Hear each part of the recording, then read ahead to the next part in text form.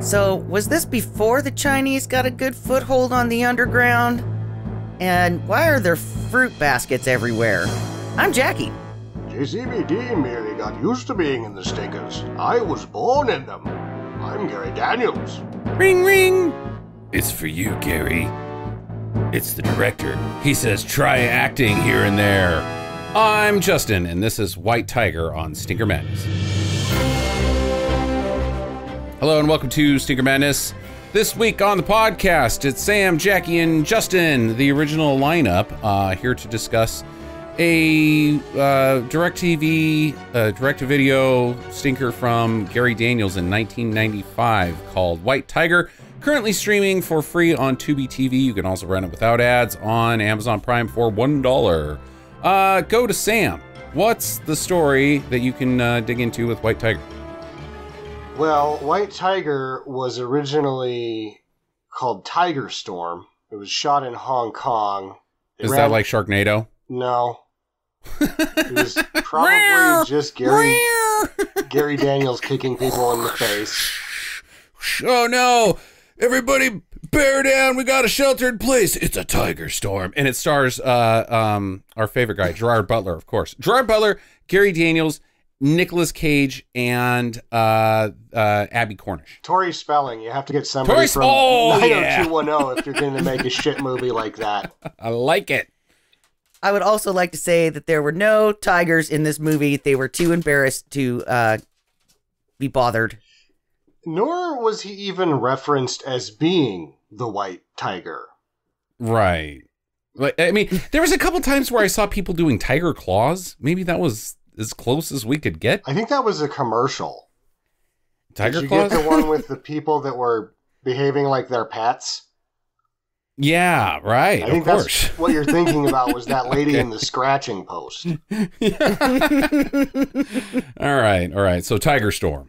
So there was a movie called Tiger Storm. They ran out of money. Uh, the production was bought, and they're like, "We'll just finish it." And they looked at all of it, and they went, "Nope, we're just gonna scrap that whole thing." Call this White Tiger. The only thing they kept was Gary Daniels, and they brought him to Canada. This was shot So- in Vancouver.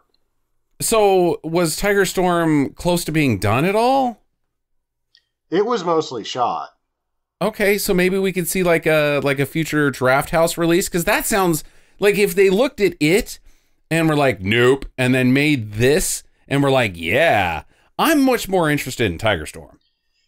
It could be so bad that it was just unusable footage. Yeah, maybe, but uh, I'd like to I'd like to see a little bit more of that in the future. I would like to know who did their location scouting because that person has uh, the right eye for the dumpiest, shittiest places in town. That was uh, their their location scout was the government of Canada that said, "Here, we'll give you money to make your film in Vancouver." As every time it happens in Vancouver. Yeah. Talked about this last episode, that studio. And there's some dumpy spots in Vancouver. That's just the size of it. hmm So they made this. The director, one Richard Martin, who you will know as the director of one episode of Da Vinci's Inquest. Oh yes, of course. That So- one episode, I love that That's where this is at. Is this guy only did one episode of Da Vinci's Inquest, so he's fucking nobody in the Canadian Right. annals, right? okay. Because that show had like ten seasons or something like that. hmm Yeah. that's pretty much what there is on this movie. I mean, the more interesting things are that uh, it recycled a large portion of Rambo 2's cast.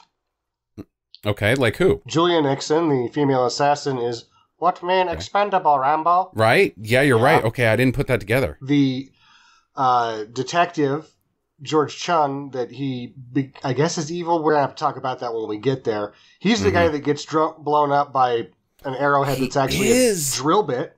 Oh my god! Holy cow! And then the head of the, I guess, not triad or uh, yakuza. I, I, I wrote down what we'll get to that when they when we get there. Whatever the name of this criminal organization is, the one that wants uh, Cary Tagawa dead is one of the nasty sergeants that I think kicks him in the face and captures him. Okay. Okay. All right. Interesting. So yeah, there are that many people from Rambo 2 in this movie. So, Sam, were you able to find any information on the ponytail slash braiding of bad guy hair? Because one bad guy in particular had some sweet hair, right? He had a, like a killer ponytail in the first shot we see him, and then he has these two braids that go down on either side of him. And then we've got our main bad guy who has a really crap braided ponytail. Yeah, that guy that you've seen in a lot of other martial arts film that's pretty muscular is Ron Juan. Ron Juan, Yeah, and they were like, related uh, cousin of Don Juan. no, they said you know Don Juan, and he's like, I'm not. so he got really good at kicking people in the face. That that that is that guy's biography. It is not. He's just a stuntman martial arts guy that's in a shitload of movies. Best friends with Captain Ron. He's probably been in more than a few with Cary Tagawa, who's been in a shitload of movies. Cary's still working. Is he? Yeah. Okay. He can't be a spring chicken. No. I think if you want to do some fun things, just look up images of uh, Cary and try to find, ha- count how many of them you can find where he's not doing the hang loose. Oh no. There's like none. You're telling me that one of the best film villains, because let's face it, Cary, uh, uh, well, I can't remember, was, uh. Kikagawa, Karyuki, uh, uh, Tagawa, uh, is a rad dude, Yeah. and he's got standard evil face. Like he can't not have evil guy face, and he's like, yeah, bruh, let's get some gnar. Yeah, he grew up mostly in Southern California. Born in Japan. Drop on in and get pitted. I think he did some time in Hawaii. He was an army brat, so he was all over different forts, but he likes to hang loose. He went to USC. Hmm. Okay, so you can't judge a book by its cover. There you go. That's a little Stinker Madness advice. Uh, beyond Cary, we also are getting a return visit from Lisa Langlois of class of 1984 and The Nest. Oh, okay. She was in the nest. We didn't do an episode on uh, class of 1984. Huh. Okay. Who- And who was she in the movie? The mom, who's in it for like oh five minutes. Whoa. Hey, headliner. Yeah. All right. She was the lady who looked like she was attacked by a weed whacker. Right. She was shitty Denise Crosby, which is shitty Denise Crosby. Like, there's not a good Denise Crosby. So, That is where I'm going next because I think that and it has nothing to do with shitty Denise Crosby, but I think Gary Daniels gets accused of being shitty Jean Claude Van Damme Mm. when Jean Claude Van Damme himself is shitty Right. Jean Claude Van yeah, Damme. right. Okay. Where Gary Daniels is sort of his own animal. They have a lot of similarities in that they were both kickboxers, Mm-hmm. but Gary Daniels' professional career was a lot more brief than Van Damme's Mhm. and a lot more accomplished. He just showed up, won both of the major belts that he could win, and then retired. Yes. And then went to show his butt and his uh, splits ability on film. Which one? They both do that. Exactly. Yeah. it's. Yeah. okay. Well, I've got another Gary Daniels comparison for the end of the episode that I want to crack into. So uh, uh, let's let's add JCVD to the mix to that as well. But uh, uh, why why things are the way they are for old GD. Um, any, anything else we want to discuss before we get into this thing? Because there's not a lot of front end. not a, no, not really. Okay. Unless you want to hear about Gary Daniels' kids. Um. Yeah, I do. Uh, so he went to the Philippines to start making movies directly after winning the two belts Uh-huh. And promptly retiring from kickboxing. Met his wife, had kids. Uh, his oldest is a stuntman, and his youngest is actually a pro soccer player in the Philippines. oh wow. Okay. Yeah. Uh, is the uh, stuntman uh, doing anything that uh, we would, uh, you know, I mean, where's he working at? Is he working in the Philippines? No, he's working in Hollywood, All right. Crashing cars and uh, getting kicked in the face. I like it. doing karate stuff. He's in. He's one of the Disney stuntmans for the Marvel movies. Oh, okay. All right. So he's probably uh, familiar with uh, what's his name? Scott. Uh, Scott Batman. Adkins. Adkins. Yeah, yeah, yeah, yeah. I wonder if they know each other. Um. All right. So, anyways, White Tiger. Uh, we start out in Hong Kong. uh, there's uh, a new drug being uh, brought forth to the triad slash yakuza. Well, the yakuza is in Japan. The triads are in Hong Kong. This is 1995. This is pre uh, uh, liberation, or I mean, uh, uh, uh, China owning Hong Kong. This is still England's Hong Kong, isn't it? Yes. Also, they in the movie, they are not the Yakuza or the Triad. They are the Zelchong. The Z- oh, from space. Yes, the Zelchong. yes. uh, a race that uh, L. Ron Hubbard worships. the Zelchong. The Zelchong. I terrible thought name. Zelchong was the cafeteria in Darkseid spaceship. Come get come get your Zelchong. yeah. He's going to head down to the Zelchong, grab some slurg. oh my god, that's that's uh, unbelievable. All right, so anyways, they're like. Uh, uh, come on in, um, Victor Chong, who is uh, Cary Tagawa. Um, they're like, uh, you've uh, we sent you to America because you're a tough guy, and uh, we like the way you get things done. But now you're getting a little fast and loose with how we do business, and we've got uh, we've got good coke, we've got good crack, we've got good heroin, and now you've brought drug X in because at no point during this film is Cary's special sauce defined as to what it is. it isn't, but it's obviously crystal meth. What? No, I thought crystal meth was was like big chunks. Like this is I don't know. this is like little salt rocks. J- Jackie. Maybe it's the bath salt. Oh yeah, could be bath salt. Um, no, he says there's no side effects, and we clearly know there's side effects to bath salts. Yes. I thought that it was just rock candy. like pop rocks. No, like you know those uh, sugar sticks that you get for your coffee, and they have, and they're just crystallized sugar. Okay. But that's what it looked like. Is that maybe he smashed one of those up and put it in a thing, and it's like new drug, guys. Mm-hmm. mm-hmm. Makes you feel all happy and shit. Which sugar does. Um, he says that it's highly addictive and no side effects. Maybe it's just sugar. And these people are like, oh my God, I feel so good. And I don't want to throw up. But if I have too much, I'll throw up. Well, I mean, they do have their cookies are like onion cookies. So a little thing of sugar like that is probably pretty awesome. Oh, that's some that's some Hong Kong racism. the sugar cookies that we Yeah. had, Jack, or the, the onion cookies that we had actually came from Taiwan. Different place. Oh, oh yeah. Okay, wait.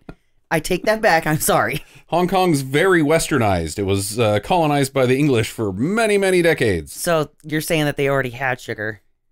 Well, they have a it's it's English sugar, so it's different than our sugar. They actually enjoy chocolate.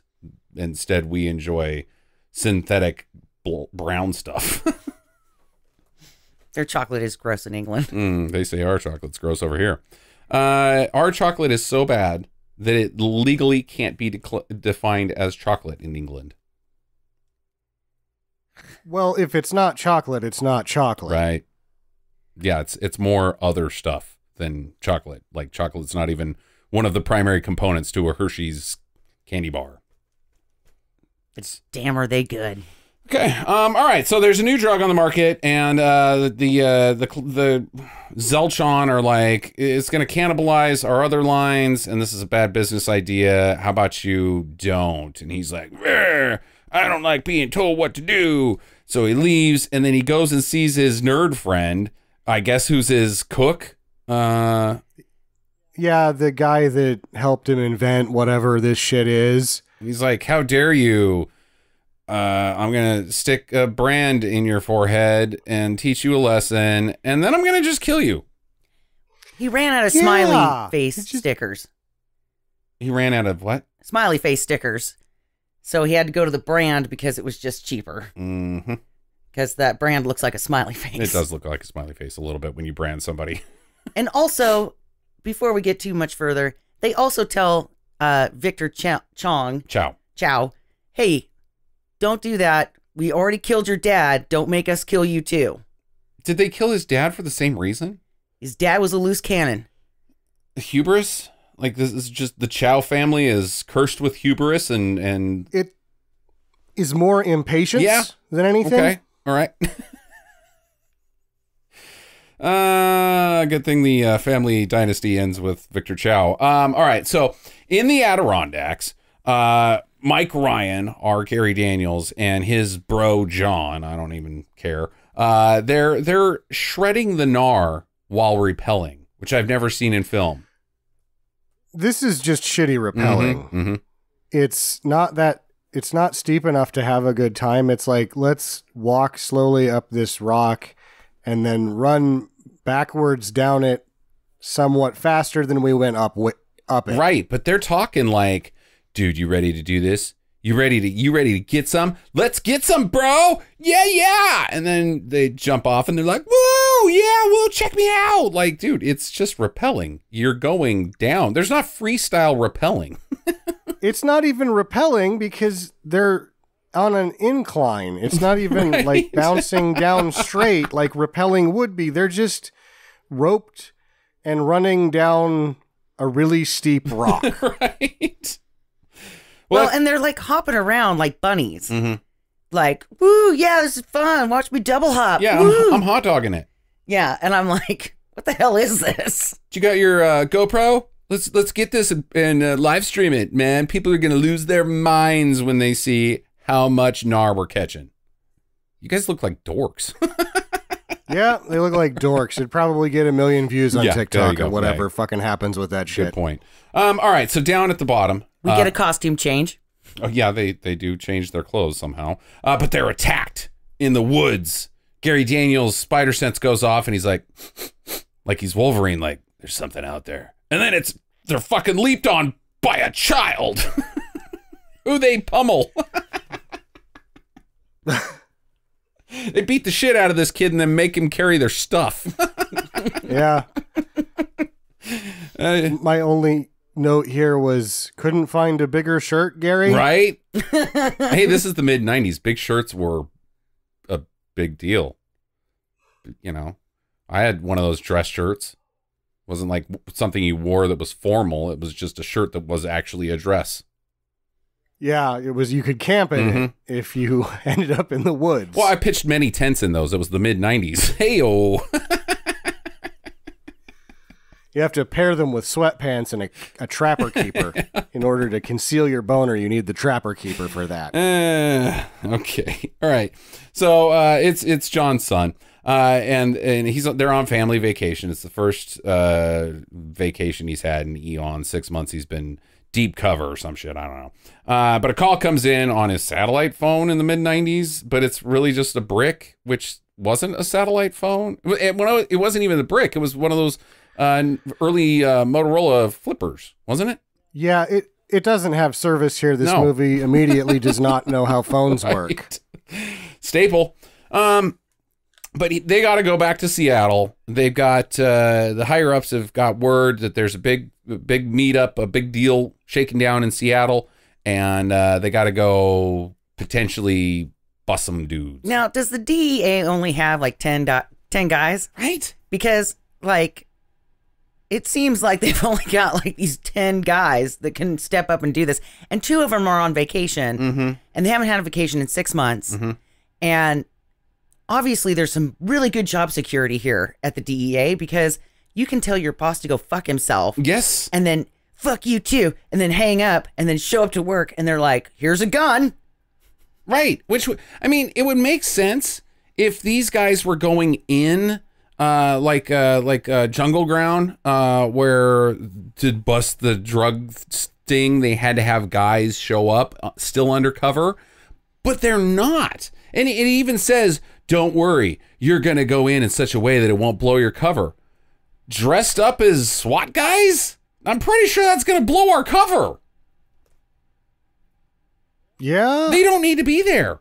Send in SWAT guys. I, in the middle of the movie, one of the detectives is like, "This is a local problem. Why are you here?" right. Yeah, absolutely. Um, I, I think this has got a case of the the uh, uh, not the bees. Um, Wicker Man, where like, dude, this is not your jurisdiction. Get the fuck out. Um, Or or the sabotage. yeah, This is the only team less shitty than the is it the ATF in sabotage? I think that's who they were. Yeah. yeah. Accurate depiction, maybe. All right, so Chow shows up to this meeting. He's meeting with his uncle, who's this guy named Tang, and uh, he's like, uh, I love your delicious orange drink. Yeah, yeah, it's good for astronauts. Uh, also, uh, Jackie and I noticed that when uh, Victor Chow shows up, uh, he is in a Mercedes and he doesn't wait for it to stop before he gets out of the car. no, he's reckless. See, that's that's where I know a a little bit about uh, leading a criminal organization and, and management uh, philosophies as far as that. I see, uh, you know, Victor Chow get out of the car like this, and I'm like, no, this guy's got to go. Um, yes, when you're a guy like you, you have to look badass when you get out of the car. But wait for it to stop the whole way before you get out, and then take off your sunglass sunglasses and sneer and, and squint around like what kind of do the you can't do it all at once. You gotta you gotta line that shit up. Safety first in bad guying. Well, I think what's happening here is that Cary's been an actor for so long that the clock in his head is ticking and the driver is doing a shitty job over and over again. And on the third take, he's just like, fuck it, we only have four seconds for this shot. I just have to get out now. Unlock the door, Phil. Um, all right, so he goes in and he's like, Hey uncle, I've got this new drug. Um, and do you want it? And the drunkle uh, the drunkle. Um, the uncle's like, Well, here's the deal. You're you got out of the car really fast, and I think you're dangerous. You're you're maverick, and uh I don't really trust working with you, so I'm gonna go ahead and say no. And I don't like your arrowhead necklace. Would you like a piece of fruit? Yes. What's with the fucking plate of fruit? It's like a grapefruit, an orange, and an apple in a nice wooden bowl in the middle of some shitty rundown warehouse. And it's like, No, it's not even in, in a bowl. It's on like a tiny plate. Yeah, like a coaster. Like at some point during their bad guying setup, they're like, okay, well, we of course have to go to a warehouse. We can't have our meetings in our high-rise apartments. I mean, that's stupid. Uh, or a hotel room with hookers, like the like the Lethal Weapon people do. No, we got to go to a warehouse. Um, but I am a little hungry, and I'm on a diet. Did you bring snacks? Yeah, I got a grapefruit, an orange, and an apple. You are fucking fired. I can't wait to munch on some delicious fruits until after the meeting's over. I gotta bring them with me. All right, so Mike and company they start moving in, uh, and they got snipers on the roof. They've got like the, uh, how many how many DEA guys do you think they got here? Like ten? there seems to be somewhere between six and 8 That number changes. The Mm-hmm. Bad guy number changes throughout the scene. But the one thing I wrote down is I don't buy anyone in the DEA SWAT team being on a SWAT team other than Gary. Okay, what's that? Because they look like they're all shoe salesmen. Yeah, yeah, they sure do. and they shoot that way too. Because they have the snipers up there.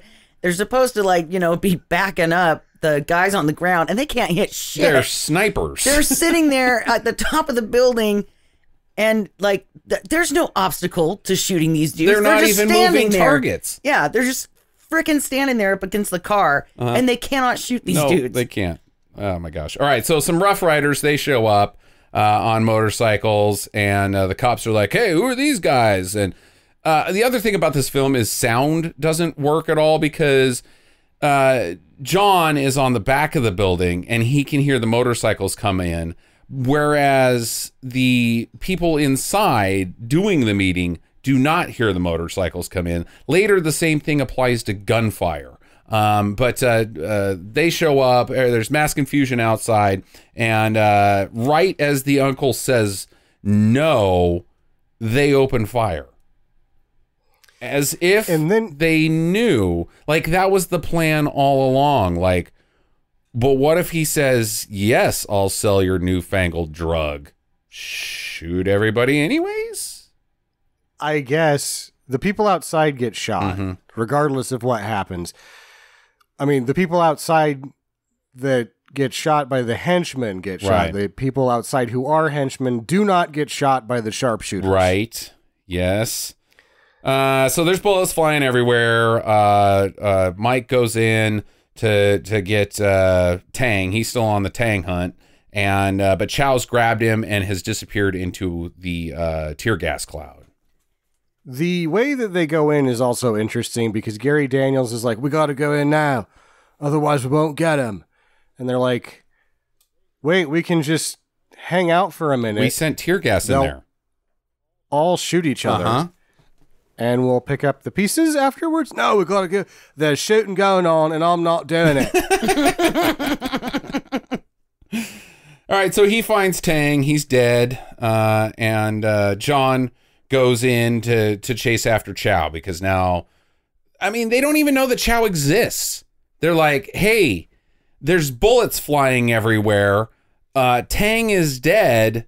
It couldn't have been us because we don't hit our targets. I guess I don't know how they. They're like, we got to get the guy who did this. Us? There's You don't know that Chow did that."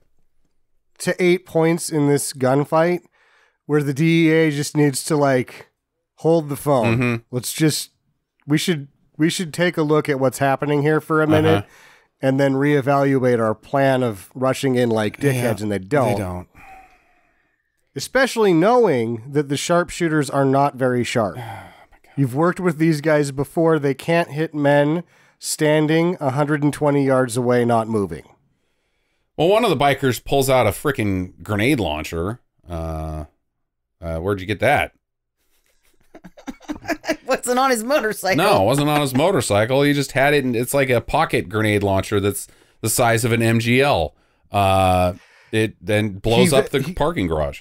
Actually, he blows up a car. Oh, that's right. is no one's That's car. right. Whose car was that? it's there's just a car parked very poorly in the middle of the road there, and it, it's a, just a maroon uh-huh. car that he blows up. And what the police do then is they don't make a roadblock; they just drive around in circles while the motorcycles ride around in circles, and then the motorcycles just ride away. See, that's going to happen to me one day in the motorhome. Like, I'm going to be like, ah, god damn it, it broke down again. Well, I'll just leave it here in this nondescript location. And then two days later, I'm going to come back with a tow truck to pick it up, and it's going to have been exploded by a grenade launcher. That was just some innocent guy's, like, his LTD that he was like, look, it's a good deal. It's a really comfortable car to drive. All you know, it's not sexy, and it does have some uh, gremlins inside of it, but it's really comfortable and gets pretty decent gas mileage for having a giant V8 in it. Uh, but it's it's got a sticky alternator, and uh, man, I had to leave it down by the docks last week. I'll I'll pick it up today, and there's nothing left. what the shit? What happened to my car? Not my LTD. there's then through the escape of the motorcycle guys, Gary's making his way through the warehouse, and a man just appears. Uh-huh. He's just a new guy Right. that hasn't been in the movie Mhm. yet. And what I figure here is that Gary's pockets are full of karate tokens, and he just needs to spend one right here. he karate's this guy to death. He kicks him in the head so hard that his brains come out of his ears, nose, and mouth.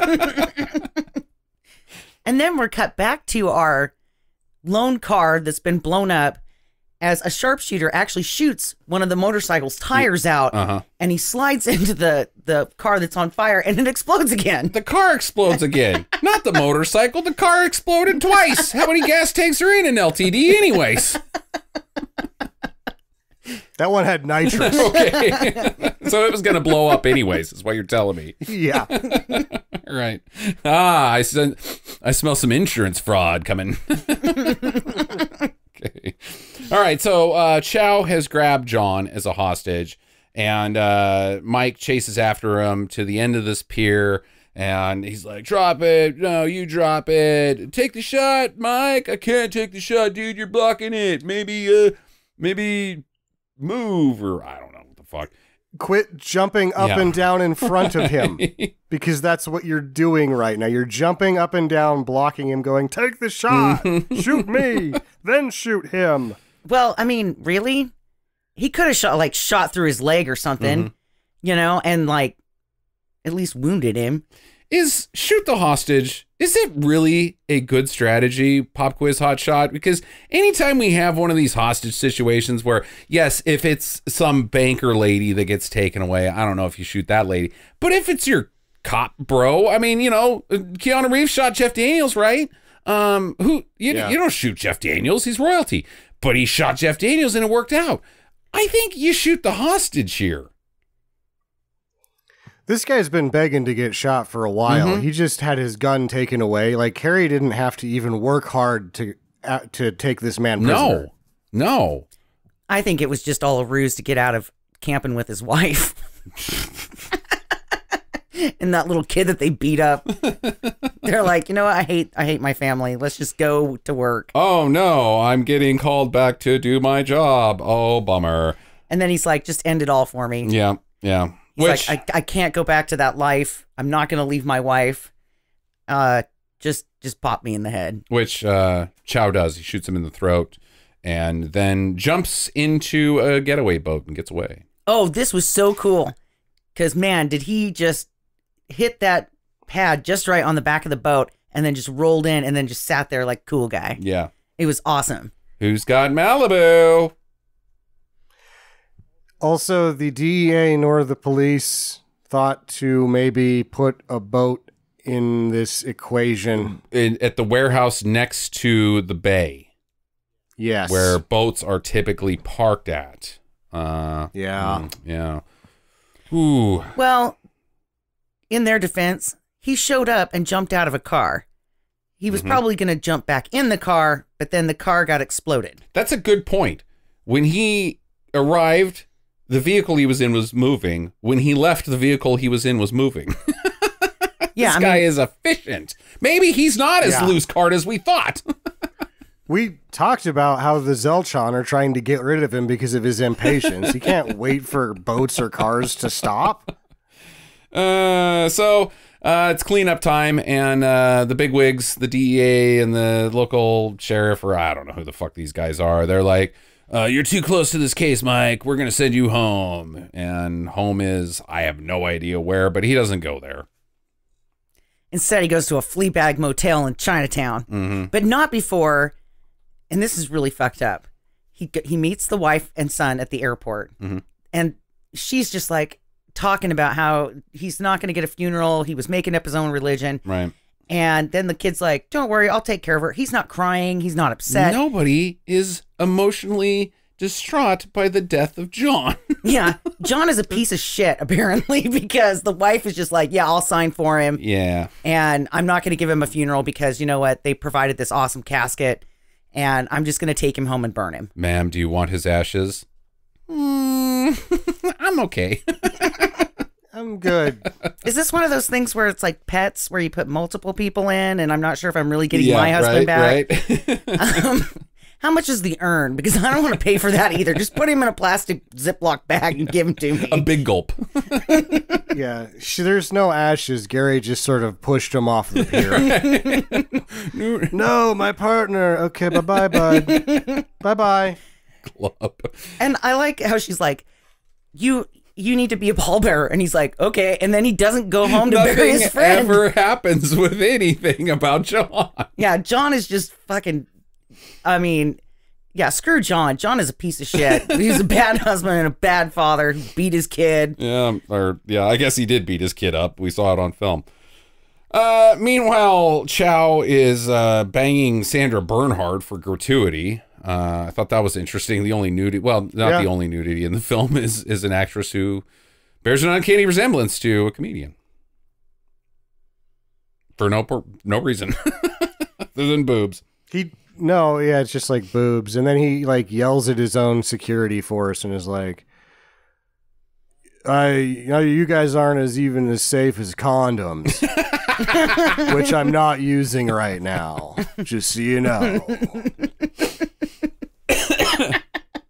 All right. So back in Hong Kong, the Zelchong have said enough.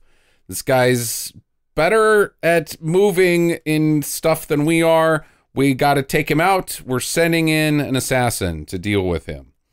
Uh, this assassin has uh, dealt with his dad. It was the same person that I guess killed his dad for being impatient or something. Yeah, you know, they have really hard hard rules in the uh Zeltron. Zeltron Zellweger. Love lemon juice in the Zellweger.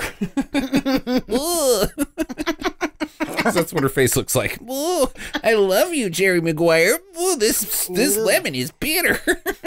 yeah, she has nothing on Keira Knightley's lemon yeah, face. that's true. okay, uh, so Mike uh, goes. uh, He's like, "I'm I'm not too close to this case. I'm gonna go solve it on my own." And uh, he goes down to Chinatown. Hey, is there a Chinatown in Seattle? We're pack Northwesters. We've all been to Seattle a hundred times. I've never seen a Chinatown.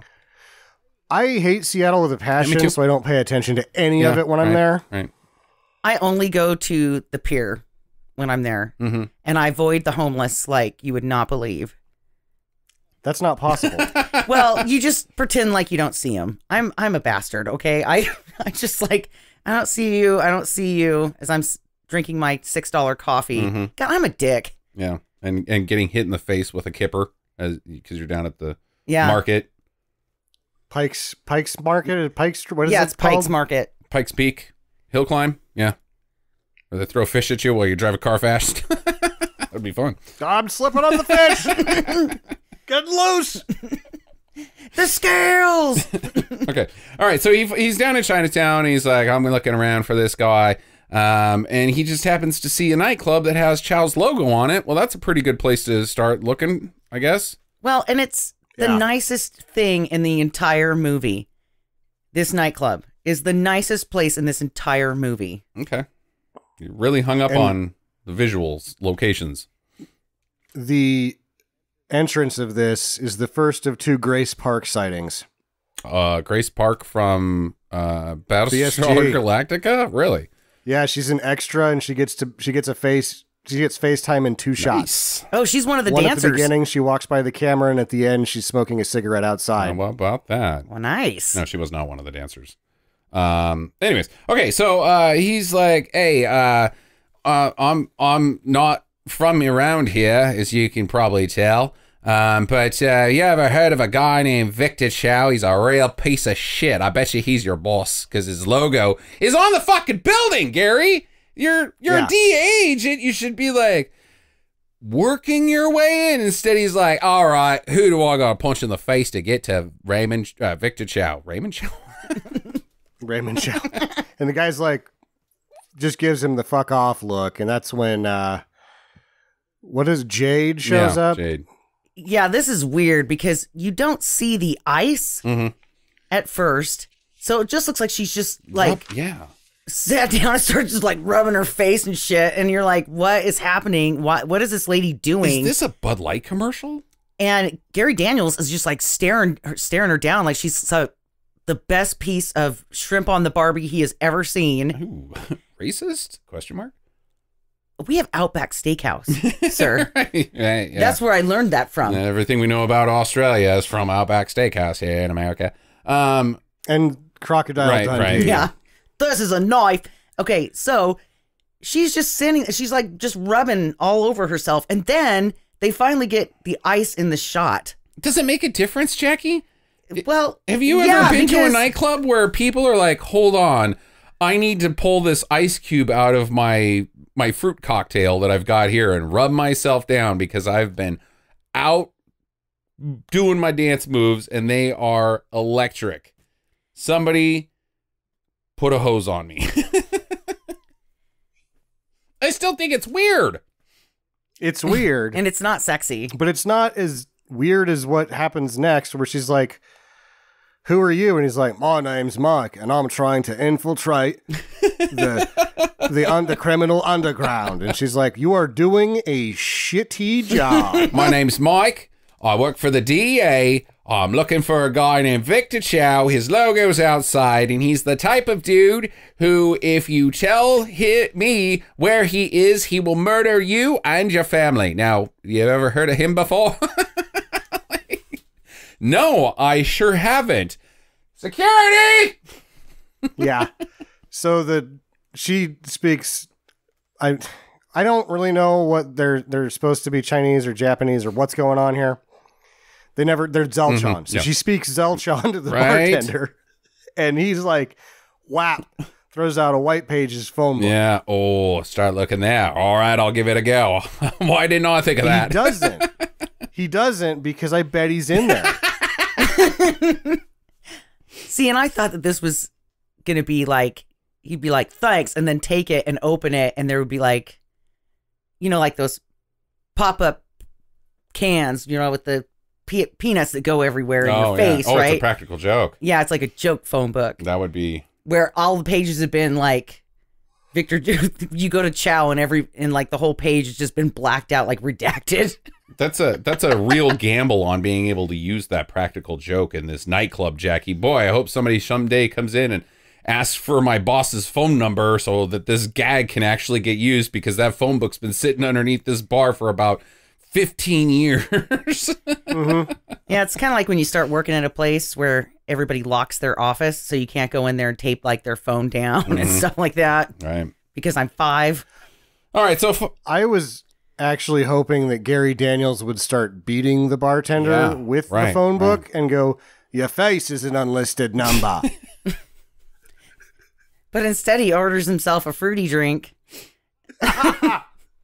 I'll have one of those. Like, do you even know what that is? And I'm pretty sure that at this point, the bartender's like, go fuck yourself. So he's put some Visine in there to give Gary Daniels the shits. And that's why he leaves so quickly after the phone book. He's like, uh oh, gotta go. gotta go because he's fucking cockney, Jackie. I don't know how to do a Right. I don't. I only know how to do the the one um accent from Crocodile Dundee. Okay, and I have to say this is a knife, and that's as close as I can get to an Australian accent. Here's Jackie's Australian imperson- impersonation. Manchester United sucks. Let's go. Chelsea football. Good Aussie, Jackie. Okay, um, all right. So anyway, so he leaves. He goes out into this alleyway where he's immediately tailed. Four guys surround him. He beats the shit out of them. Uh, and then Jade comes out from behind uh, some building or something. The and she- dumpster where she was working. Right. and she's like, hey, dude, here's the deal, bro. You're going about this the wrong way. Uh, you're, you're barking up the wrong trees and, and you're going to get yourself in trouble. And he's like, all right, well, I'll follow you all the way to your apartment. And she's like, go home now. And he's like, I don't have one. They've kicked me out of my motel because I plugged the toilet too many times. now he's a fucking, he's a longshoreman. I don't know. yeah.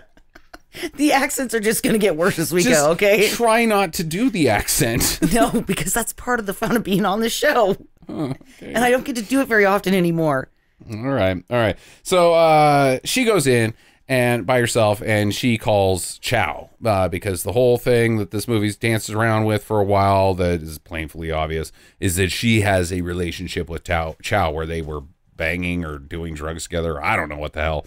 Um, but uh, Later, we find out that she was raised by his family, mm, okay, all right, all right. but he knows that she's an assassin. Hey, spoilers. yeah, it's a whole bunch of angles. This is a lot of intrigue, I guess. All right. Well, the next day, uh, Mike is still just hanging out, hoping he stumbles into something, and he sure does because he sees uh, three bikers uh, that uh, fit the description of the guys he never saw from the beginning of the movie because he was inside the building when they were outside of the building.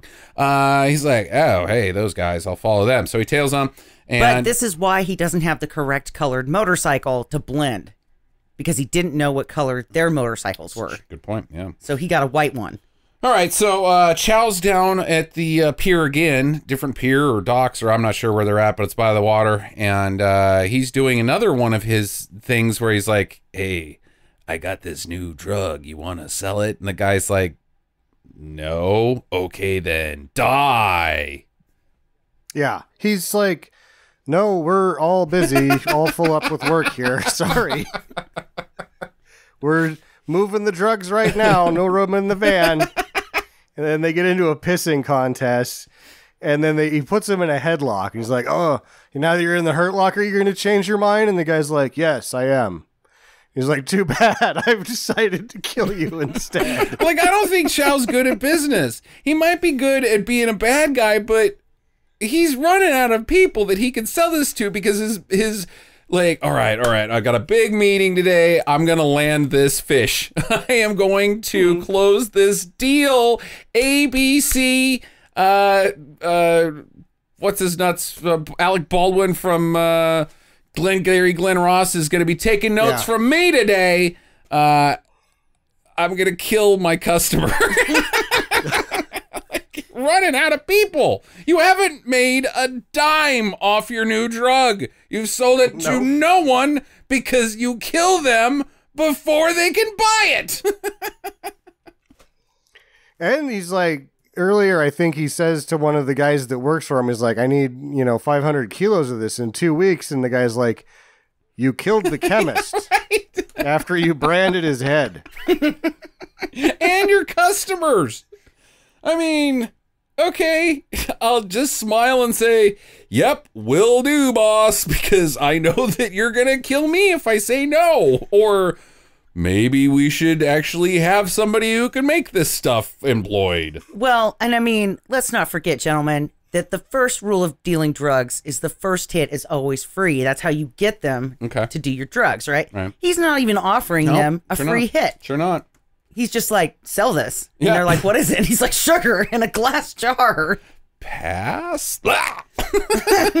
Give me the bomb that we packed. Yeah. This is going south. Oh my god. Yeah. They're like, How do you do these drugs? Just what, however, however you want. Chew them up, snort them, smoke them, inject them. It doesn't matter. Doesn't it? All right, so Mike sees this all goes down, and he runs in too late. Uh, and some uh, rookie cop comes in. And he's like, "Get on the ground!" He gets handcuffed, and somebody can't get away. And uh, then the big wigs come in, uh, which is, uh, or not, not, not the big wig. Who is this guy? He's a The guy that comes next is just one of the other detectives. Or maybe he's the captain. He's the captain, and he's like, I already told you to fuck off once. Why are you still here? yeah, And then he's like, by the way, you're crappy at your job. And then there's evidence that the guy is, in fact, crappy at his job yes. because he didn't notice that the van blew up with drugs in it. In his defense, he did just get there. I mean, it's a pretty dick move on Gary Daniels' part. So they tell him, "Hey, you got to get the hell out of town. This isn't your case. This isn't your jurisdiction. Beat it. I'm driving you to your hotel. You got 10 minutes to pack up your shit. Uh, get up in there." And so he leaves, goes upstairs. Meanwhile, downstairs, uh, Chow pulls up to Detective Fong. That's the character's name, and is like, "All right, you're gonna have to whack him." And Fong's like, "Okay, And who needs 20 minutes to pack a duffel bag? Right. Like, no, you needed 20 minutes to take a shit and plug that toilet up one more time. Mhm. So uh, the Detective Fong's like, "Hey, I got this tip on where Chow's at. Let's go check it out."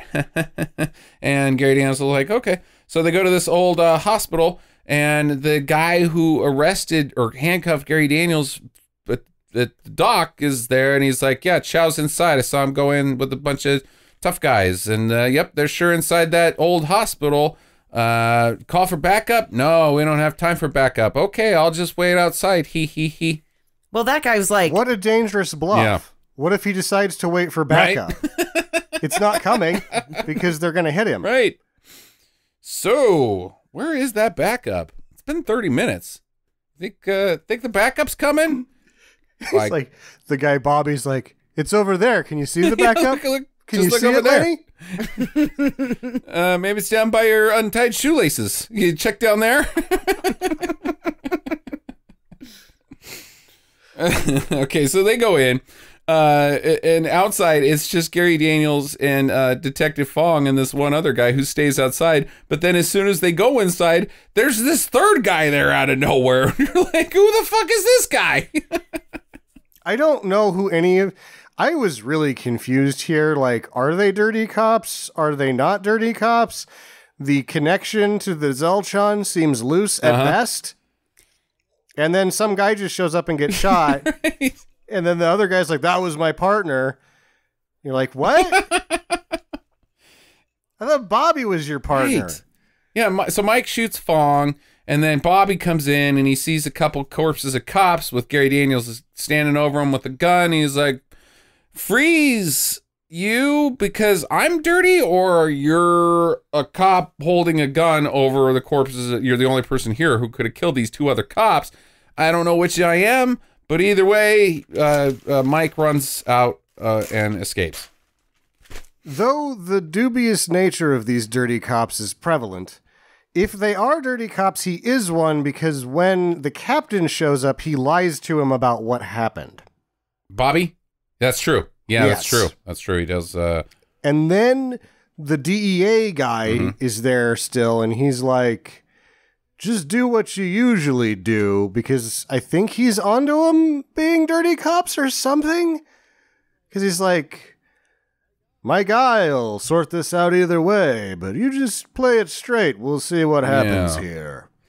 Uh, so Mike goes to Jade and she patches him up. And uh, after he leaves, uh, she sees him on the front page as the most wanted fugitive in Seattle or someplace. How does he get up to her apartment? He's outside, and she clearly lives at the top of a very tall building. The buzzer? No, he's outside in like outside air. There's a tree out there. so there's like some garden or something on the rooftop that she lives like a terrace or something. How did he get up there? That's true. That's a good point. Huh. Okay. Uh, so he goes to another uh, logo place that he sees, and uh, he beats up the dudes inside and finds upstairs a gambling ring. And he's like, uh, "I want to leave a message. Uh, tell Chow that uh, I'm coming for him." They're like, "No." And he's like, "All right. Well, how about if I shoot your gambling table?" yeah, he's just like fuck that table. I'd still be like, man, I'm glad that fucking guy with that gun is gone. Uh, let's go back to playing cards because the table's still Yeah, good. it's still fine. It's just got a hole in it. What was that all about? I don't know. Uh, you call. all right, so um, he calls Jade and uh, from a payphone, and he's like, "Yeah, I don't know where I am, but uh, there's this uh, uh, Golden Dragon uh, Chinese restaurant there. Can you can you come get me?" And she's like, "Can you be more specific?" And he's like, "Golden Dragon. It's the Chinese restaurant." And she's like, "Yeah, there's like 50 of those asshole racist prick." Uh, so she goes and picks him up and uh, takes him to a parking garage, and the bikers are there. They've, they're creeping in on him. And then this gets confusing because the bikers start chasing him Mhm. around, but then another car shows up and just wastes the bikers with a machine gun. And you're like, who are these guys? Right? Did they miss? Like, because he's like, get down, and and they both hit the pavement, and bullets start flying, and it takes out all the bikers, and then the Merc drives away, and you're like, were those? Was that supposed to happen, or did you kill your own guys? Uh, I want to I am confused. see, and I'm confused on who in the fuck goes get down and lays down between bikers that'll run your ass over Mhm. and a machine gun on the other side. Like they're gonna get you if you just lay there. Like you can't play possum, Gary Daniels. What, what are you supposed to do? Like jump up into the? well, they should have rolled over to the, like the edge of the parking thing and jumped down. Ah, Like, you can't run over here. We're in the we're on the the walk area of the parking garage. this is not for cars. Get out of here. Row faster. Row, row. Roll to the walking area. that's what I would have done. okay. But I don't really find myself in situations where I'm in a parking garage with.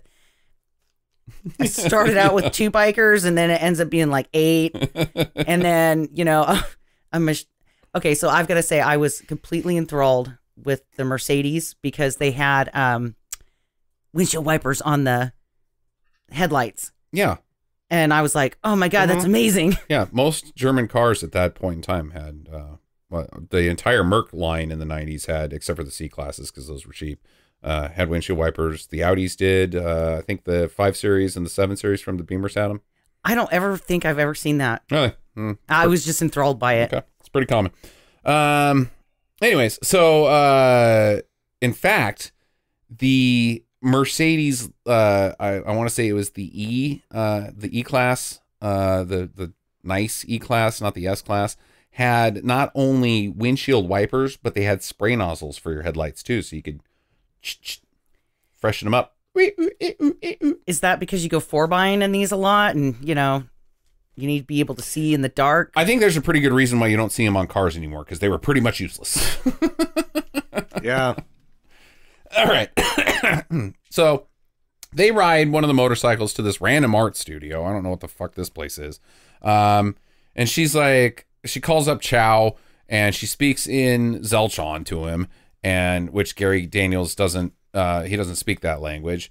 Um, But and- he does. Or or does does, he? Right? Um, and she's like, "Yeah, I'll send him your way."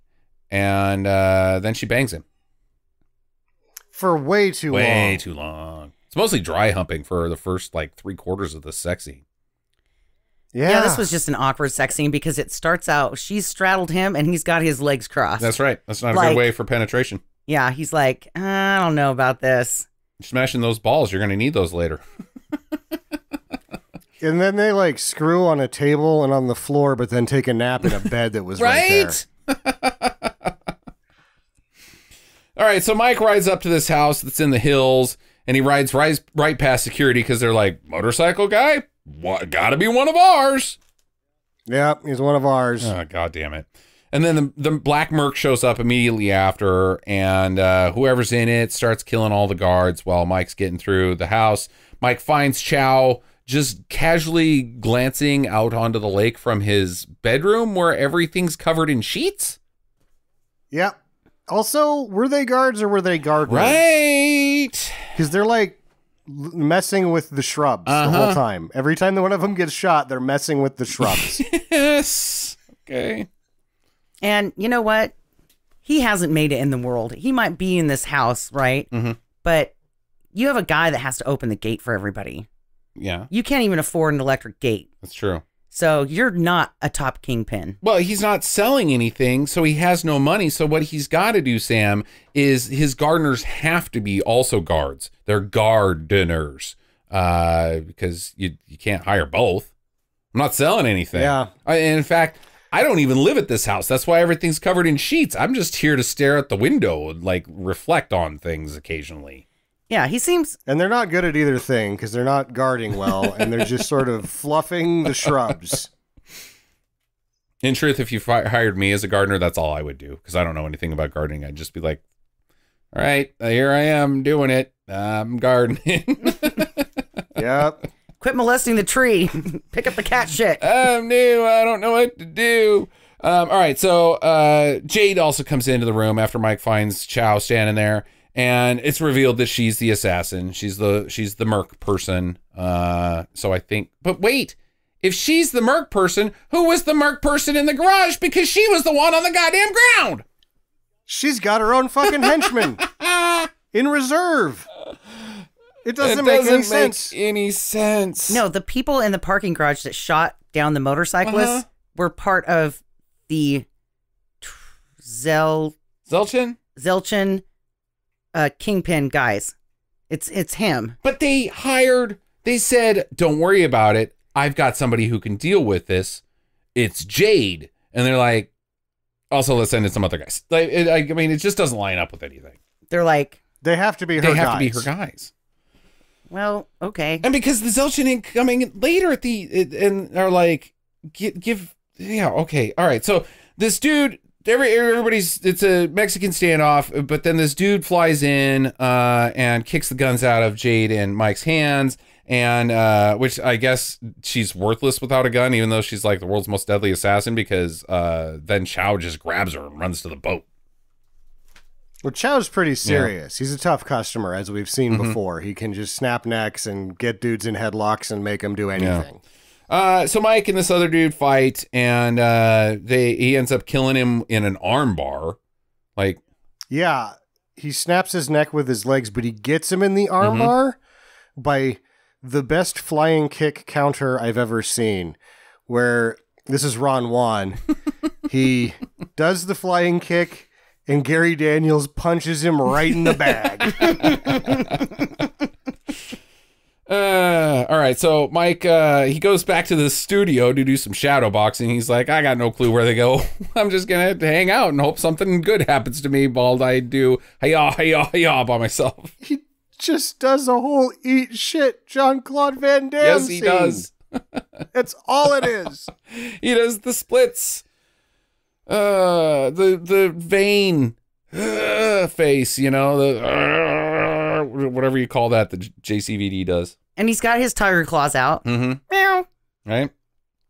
Tiger Storm. Um, in walks the head of the Zelchong, and he's like, "Hey, I need you to take care of this. Uh, the enemy of your enemy is your friend, Sung Si Sung Su bullshit uh dialogue blah blah blah If to- we're in a boat yeah. and it starts to storm, you you you would help me. if it's a tiger storm uh yeah you would uh and then we'd be enemies later and he's like He's like- okay good talk bye He's like, there's two men in a boat, and then and Gary James is like, no, there's only one man in the boat, mate. You're doing and it I can't find it. I mean, he's got to be in that boat there someplace. I'll just keep, I'll just keep rummaging around until I find him. can't do it. I've tried. Okay, um, so that that leads nowhere. He's not like, hey, here's some dudes to help you out, or some guns, or like whatever. He's just like, we're in a boat together, and when we get out of the boat, we'll be enemies. But right now, we're in the boat together. Bye bye. And Gary Daniels is like, the fuck was that all about? hey, the right hand helps the left hand. right? Uh, okay. How does that work? Is it is the right hand helping the left hand find the man in the boat? I mean, is it like a double team? You use your thumbs and you just rub up and down. Because it's still I can't find that guy. Okay, so um, Victor meanwhile is torturing Jade on his big uh like oil tanker that he's got. It's an old cruise ship. Is it an old cruise ship? It looks like it's an oil tanker from the outside, and then on the inside it looks like a cruise ship. No, it's got windows all Okay, over it. That's a cruise right. ship. Yeah, and a very crappy one at that. Yeah. yeah. So once again, we're in a shithole. Mm-hmm. How do you buy something like that? Would I like to own a cruise ship? Or they like because it doesn't need to go anywhere. It could just be my houseboat. The only thing it needs to do is not sink. And I got a big house boat. We also forget to mention that when the Zelchong guy leaves, they had already discussed that he had to give him a ride. so I guess they just hang out in the car while he takes like a 45 minute shower. and then they drive there together. Uh, okay. Um, so Mike is sneaking up on this boat, uh, and then things get really weird in the captain's quarters or whatever you call it, where where Chow's got Jade trapped because he gives her apparently some nitrous. They both do nitrous, I- and then they it cuddle. looks like they're smoking opium out of a mask, kind of. I can't tell if it's his new drug or what. I did see the If it's his new drug, that drug isn't meth. yeah, but you did see the uh, But the hookah pipe behind it, right. and it's I did write down exactly the same thing you just said, though. Getting weird in the captain's Yeah, because they start they start cuddling. He and you can't hear his dialogue, but I'm pretty sure some of it was mm, "mommy, mommy." It was weird because they before he like he talks about how they grew up together and that his dad wouldn't let him have sex with her, and she's like, "That's because your dad was banging me when I was a kid." And you're like, oh god, this is getting fucked up. hey, And Indiana Jones smoke- and his dad banged the same lady in the same week. She talks in her sleep.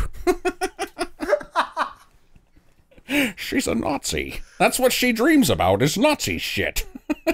I'm like, I'm rubbing on top of her and saying, "Oh, come on, Dad, let's get this done, lady." And she's over there rolling to sleep because it's, let's face it, I'm 82 years old. It's not the most uh, exuberant romp she's had recently. she's over there sleeping, going, "I love Hitler. I love Hitler." How did you Then not know that, Indy? And he has to hand him a pamphlet that says "Living with Herpes." oh Uh, Sunday, your ball sits two. One and four. So Daniels has invaded the boat as a frogman. I guess they had that in the trunk of the Mercedes. right. And he does a scene where he's invading the boat and he like shoots a guy with that guy's friend's gun. yeah. And I really wanted him to punch the guy with his own hand and be like, Stop punching yourself. Stop shooting your friends. okay. Uh, so yeah, they're they're shooting out. Um, they it, he eventually dives into the lower decks.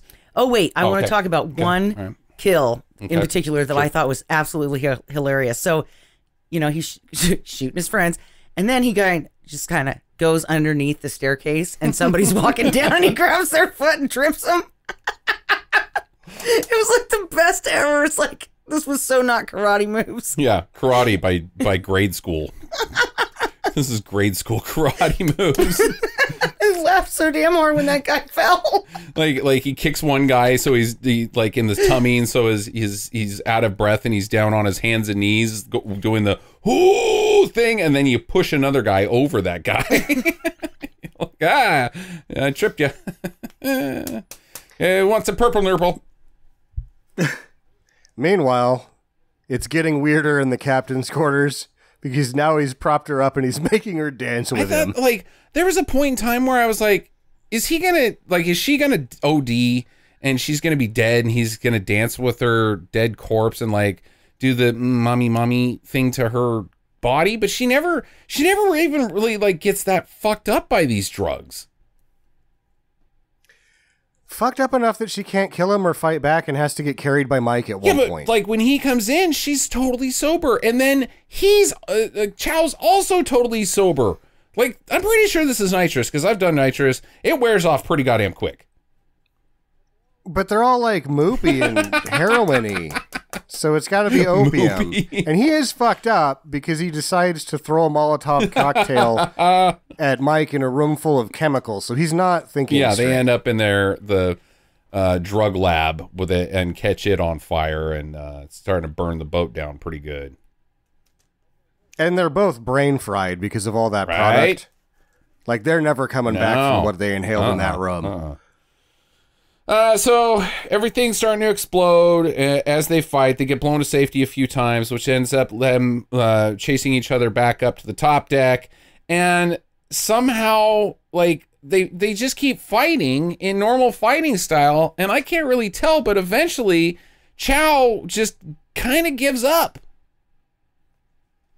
He falls Uh-huh. down. I think an explosion knocks him over, and he was like, "Oh, I was too close to that one to look badass. I hurt my knee." Right. So he just lays there. And then uh, Mike Ryan is next to him. And they're both like, oh, ow. And Mike Ryan gets up and he just like walks off. And Chow's like screaming, like, Frank. Like, I couldn't tell what he was screaming at him. He just kept going, Frank. Don't leave me here, Frank. My name's not Frank. Man, you smoked way too many of your own drugs. and so the ship explodes uh, with uh, Chow still on it Mike jumping off. That was a badass jump, though. Oh, was, that was a good stunt. The explosions were not. No, the explosions were shit, but his jump off the boat, whoever that was, that. Yeah. was incredibly cool. Like for a second, I thought he's gonna hit the poop deck, Yeah. Whoa! and then he made it. So he didn't eat shit. His last his last words are shuffleboard anyone? um okay, so uh, later Jade Jade reunites with her daughter that we have no fucking clue about. they had. I guess they had her daughter, Who? the Zelchong. Uh But why? Because you just work for them right. already. I don't god. They give you henchmen.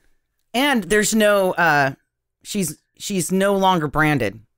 Yeah, she she lost the brand that that Chow gave her.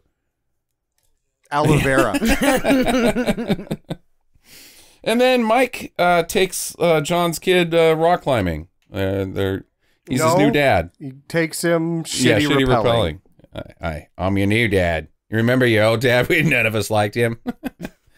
I'm your new dad. Actually, I was your dad this whole time. you never knew.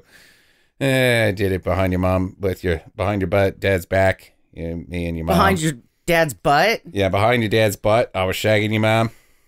Yeah, my boy. I've been this whole time. Aren't you glad? And that's the end of the movie. All right. Questions starting with Jackie. Um, well, does he become the new dad? because he, at one point, he's talking to Chow in the house, right? Before that happens. And he's like, I used to do the one night stands, but now I don't. And I'm like, so you got a girlfriend? Mm-hmm. He that uh, he's been uh, waiting around for this to happen. He knows that his best friend is a cop. He's seen him do copping stuff, and he's not very good at it. And he's gonna get immediately captured at some point and shot. He's just biding his time so he can go back and uh, uh, start shagging shit eating East Crosby again. He's he's celibate until that day. Well, no, because he screwed No. Jade. Oh, that's a good point. And he said he had a girlfriend too. So I think he's actually everybody's dad. He's he's that strange girl that came out of nowhere. New dad for her, new dad for the kid. If there was another kid that just showed up in the movie, like, hey, Gary Daniels is your new dad He's- too. It's like an Oprah gift He's show. he's Johnny Kiwi Seed. Uh, is this thing Ugh. on? oh my God. No, it just wasn't funny.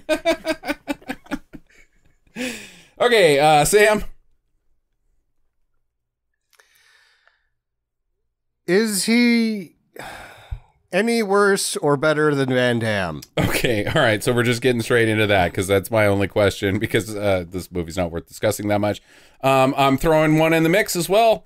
Uh, compare uh, his uh, his career to Dudikoff's because they're the same guy. He's markedly better than Dudikoff because he's an accomplished martial artist, Absolutely. and Dudikoff is That's a right. surfer that his hair is blown up and he just has woe face all the time. but they're both very similar uh, uh, trajectory as far as their movies, um, except for Dudikoff was in a lot more rad movies. Um, but they both do the exact same method of acting. They don't. They they don't. just have this dumb look on their face the entire time. Whereas JCVD, he'll give it a go. He'll try to act. He's just, you know, JCVD. He's He's terrible. terrible, but he tries. And there is a middle patch of his movies that are actually like these are kind of quality for action a little bit. Like Hard Target's okay. Gary never got to do anything of the level of production. Yeah. Van Damme had some heavily produced movies there for a while. And Dudikoff had uh, more of a like, let's get Dudikoff, let's get Dudikoff. Let's, Gary Daniels had to get these jobs, whereas Dudikoff was just a body that that uh, the studios would be like, let's just have him do it. Yeah. And that Gary had to do the choreography for most Mm-hmm. of his movies. After a certain point, he was the line producer and the choreographer, which is why I actually like his movies because you can tell that he's a multidisciplinary martial artist. He mixes grappling, he does a lot of different things, and he's less crappy on screen fighting. That Van Damme goes so goddamn slow all the time. Oh, Yeah. God. It's painful. And then Dudikoff doesn't even know what he's doing. See, and I think that Van Damme, personality wise, he's funnier. Oh, absolutely. And so that really comes across in his movies. He's got that sense of humor that I, I don't think Kiwi guy, Gary Daniels. Gary Daniels, uh I don't I don't think there's a lot going on up there. I don't think there's a lot going on upstairs with Gary Daniels either, but I think there's a lot more going upstairs than there is with Michael Dudikoff. Uh, Yeah. But again, Gary Daniels had the worst career out of all three of them. Fist of the North Star was sort of like if that would have that was his make or Right. break moment. Had that thing actually done well, he would be a different a different martial arts star. It didn't, and he's Gary Daniels, but he still worked a lot. Like his his list is long. Lately, he hasn't done much, but I, I saw on his Facebook page he's super hippified too. His hair is fucking long. He looks goofy as hell. It's great. Yeah. I'm just trying to think of one other than Fist of the North Star. uh, one Gary Daniels movie that if you weren't a listener of this podcast, that when somebody says Gary Daniels, you would be like, Bleh, and there's not. There isn't. Uh, he is in that Jackie Chan City Hunter. He's in City Hunter, but it's not a big. and City part. Hunter is one of Jackie Chan's least well-known movies. So Yeah. yeah, He was on an episode of V. Gary Daniels was. I'm just making that up. Oh, okay, all right, uh, right. So yeah, it's it's kind of a weird He- career that that Gary Daniels had, and why. Uh, I I get why uh, JCVD was the bigger deal of all three of them, but why Dudikoff? Then Don't get me wrong, I love all three of them, absolutely love all three of them. But uh, Well, why question, Dudikoff Yeah. is because he was an underwear model that was in front of Menahem and Golan in Yeah, the right time. right? It's just uh, And if people that don't listen to the podcast would know Gary Daniels if they're fans of Cynthia Rothrock, which is a very small group Mhm. of people, because he's in a shitload Yeah. of her movies. And she also likes to do the in your face Van Damme dances in her movies too. It's true. It's true. All right. Uh, any other questions, guys? Final recommendations. Uh, let's start with Jackie. No. Okay. It was too confusing and the fighting wasn't very good. The trip thing was the best thing when he tripped somebody as they were coming down the stairs. That was the funniest part of this movie. And it was also the best stunt other than the jump off the boat. Okay. I, I don't know. I just I just couldn't get into it and I think it was a lot of what the hell is happening and that just kind of shut it down for me. Sammy. I think it's Really? a do. I liked it. Uh, I thought it was super stupid, very confusing, and it's like Gary at full force, not acting half the time and just having good hair, which is just silly. I also would expand it to say that if I had run into this movie when I was a kid, because I had a large volume of dubbed martial arts movies when I was mm-hmm. growing up, I would just go to the video store and I'd dub them. If I would have run into this, I probably would have watched it repeatedly. Okay. Interesting. And I like that Cary gets to, you know, go bananas in this movie too, because we don't get very much of that. Yeah, uh, Cary uh, Tagawa is is definitely, in my opinion, the best part of this whole movie. But that's not much of a surprise because pretty much anything he's in, he's the best part of the movie. Um, but as far as a do and a don't, I don't. I the, I think that this is uh, uh same as uh, Jungle Ground. It's just common DTV fare. And what why I picked this movie is because I knew the plot was paper thin. But the thing about the paper thin plot is it's just Beverly Hills Cop. What? Partner gets shot. Dude goes on a revenge outside of his jurisdiction. Gets told to go home. Won't go home. Ends up storming the bad guy's headquarters where he lives, killing all his guards. That ends in a fatal. I mean, like it's without the comedy, it's just Beverly Hills Cop, and I think they knew that. Um, but What? Half of his movies are the last Gary Daniels movies we we watched like a year and a half ago was the exact yeah, same. Yeah, maybe thing. all movies are just Beverly Hills Cop, but man, it screams it in this one. Um, and uh, just cliche after cliche he goes to the to the lady who you know is working with Chow, and that she's the assassin because who else could it be? Um, because in another movie we would have saw the assassin and it would have been Sid Haig or uh, Big Jaw who died. Um, what's his name? See, and I think that you're wrong on that one because there were so many randos that just showed up in this movie. Yeah, but none of them had dialogue. You would have there would have been a big reveal where the hitman came in carrying a guitar case or some bullshit like that. That didn't happen. So therefore you knew had been one of the people in the in the film who had actual dialogue and the only person that fit the bill was her. Um and uh just just too cliche, too run of the mill and what I was told was, yeah, it is all that, but the fight sequences and the action sequences are top notch. And then I saw it and I was like, this is bland as shit. You should go watch a fucking Jackie Chan movie. Uh, people who have not. And uh, so it's a dump Yeah. for me. It's a waste of time.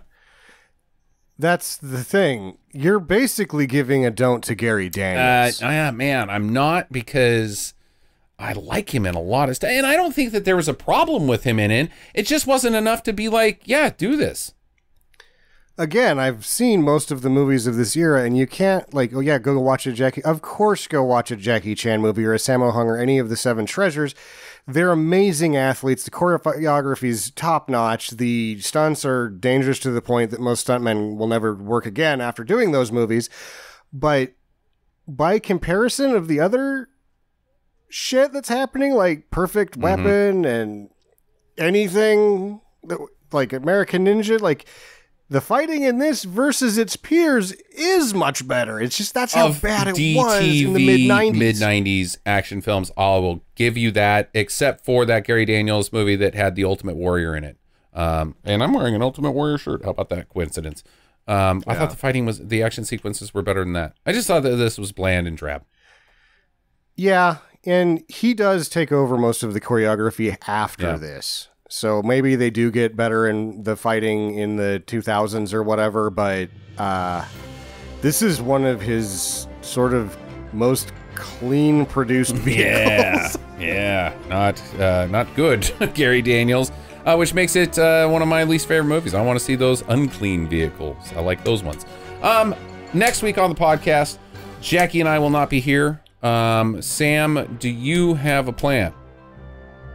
Uh, Tyler will be here. He hasn't picked a movie Okay. yet. All right. So Sam and Tyler next week coming at ya. Um, get to the chopper.